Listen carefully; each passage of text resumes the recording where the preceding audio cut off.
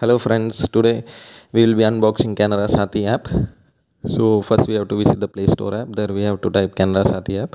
In this case it's already installed. That's why open option is shown at the top. If not installed then you have to visit the play store app. Then uh, search for canara Saathi app and install. Once the installation is complete you can see two options at top. That is uninstall and open. And you can see the pages. I'm simply browsing through it. So once installed uh, you can open directly from this page itself. See i'll be opening here. And once opened you can see the first page where username and password is asked. If not registered you have to click the option register here under the option login. This is the first page. You will be seeing. So once click register here you have to enter your mobile number last four digits of your credit card which you can get from your credit card itself and the verification code also you have to enter. Once you are done with it you have to click the next option. Next option is shown in blue.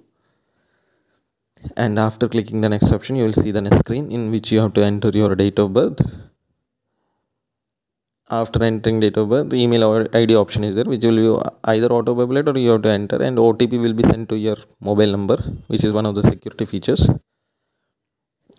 and you will have to go to your SMS and select the OTP password. And you have to enter it here. And once entered you will be going to the next page where you have to select your username. Some conditions are there which you can easily note through the i option on the right side.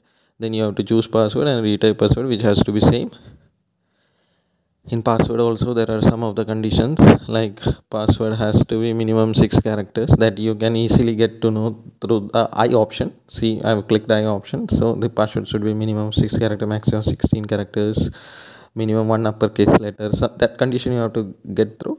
And while logging in it will ask enable your biometric login. You can easily enable it first time itself.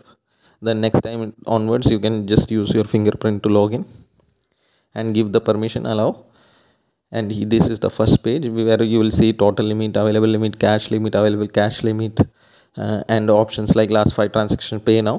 While clicking last five transactions you will get to know your, your, your last five transactions.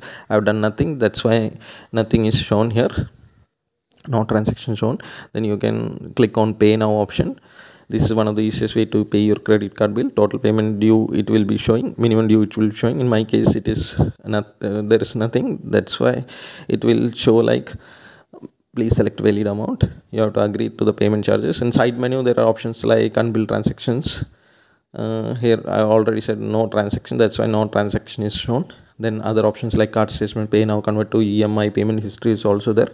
Convert to emi option will work only above rupees 5000 and service request tab is also there. A top settings and logout option is also present. And while clicking logout it will ask for you to log out from the applications. And under service required there is option for changing pin also. Under settings only one option for enabling biometric login is also there.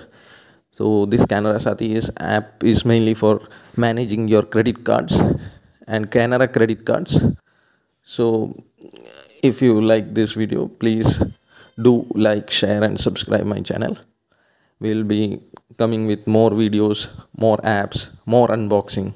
So thank you friends. Bye